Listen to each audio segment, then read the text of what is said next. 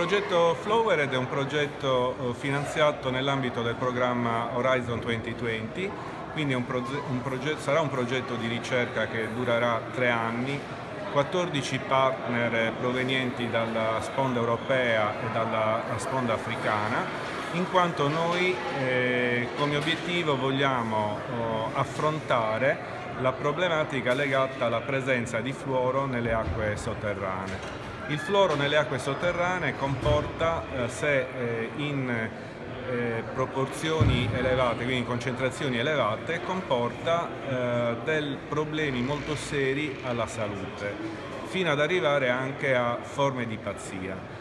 E il fluoro è presente eh, nelle acque sotterranee di determinate regioni eh, della, lungo la Rift Valley, quindi nella parte est africano, a causa di eh, ehm, scambi eh, di minerali eh, presenti in determinati tipi di rocce.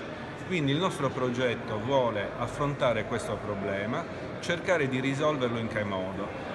Applicando eh, tecnologie eh, adattabili ai contesti sociali eh, ed economici di quelle, di quelle località e ehm, trovare eh, delle forme di eh, purificazione di questo, di, questo, elemento attraverso dei filtri che possano essere utilizzati nei villaggi.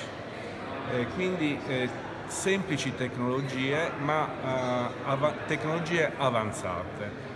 E eh, se noi pensiamo che l'acqua, oltre ad essere assunta eh, per usi umani, viene anche utilizzata nell'ambito dell'agricoltura, quindi per l'irrigazione dei campi oppure per dare da bere agli animali, eh, il fluoro entra nel ciclo alimentare e quindi eh, noi con un altro gruppo di eh, partecipanti al progetto affronteremo questo problema. In che modo? Anche in questo caso eh, dovremo trovare delle soluzioni adattabili alla, al contesto eh, ambientale che abbattano il contenuto, il contenuto in fluoro.